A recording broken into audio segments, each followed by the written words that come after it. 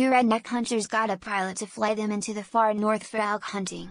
They were quite successful in their venture and bagged six big bulls. The pilot came back as arranged to pick them up.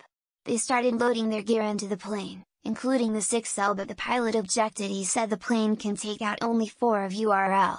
You will have to leave 2 behind.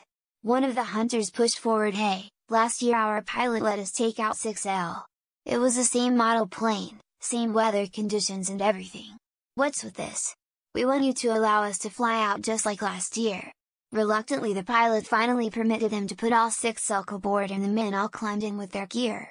But when they attempted to take off and fly out of the valley, the little plane could not make it. They crashed in the wilderness. Climbing out of the wreckage, one redneck said to the other, Do you know where we are? I think so replied the other redneck. Yep. I think this is about 100 yards further along than where we crashed last year.